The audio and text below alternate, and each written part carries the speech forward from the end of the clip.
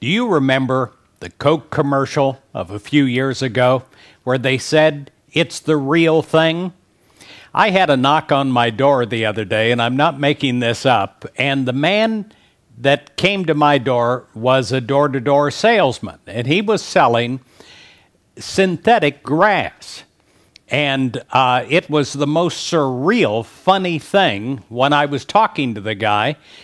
It, it just made my whole afternoon. He says, You know, he says your whole front yard is dead. And I said, Well, I said, uh, it is basically because of the drought and we have water restrictions and so on. He said, Well, I'm here to tell you about synthetic turf, and I have one of their brochures right here. He wanted to put down plastic grass in my yard, and it says design, install, and maintain.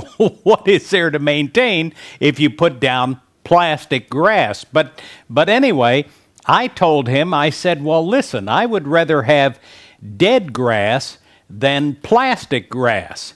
And he shook my hand and he said, well, congratulations, because you've got it right now.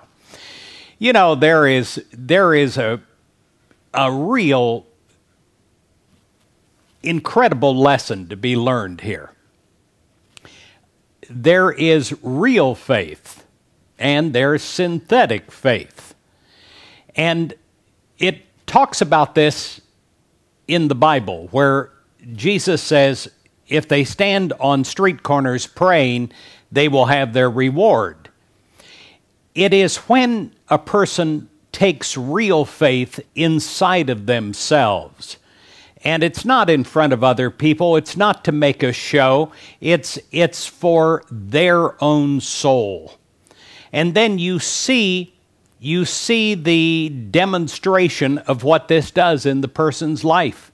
And perhaps that is the greatest worship service that you'll ever see. Seeing a person succeed when they shouldn't, when they have all the odds against them, but they have something burning inside of them that keeps them alive, keeps them ticking, keeps them on the move towards their goals, then you see them reach their goals.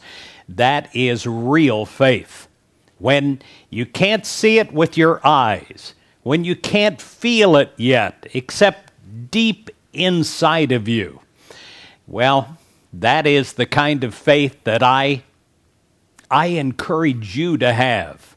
I don't want you to have a synthetic faith. I don't want you to have a faith that is just ritual. I, I want you to have something real that you can, you can tangibly feel inside of yourself that empowers you, that keeps you moving. Now, my front yard, I know the truth. The next time it rains, it will come back and it will be more beautiful than ever. And it is true. That's the way it is. And it's also true of us when we have faith in God, when we know we're not alone, even when we're down, we know we're going to be up again and up higher than we've ever been before. Build reserves of faith inside of you. Make it real and demonstrate it in real ways in your life. God bless you.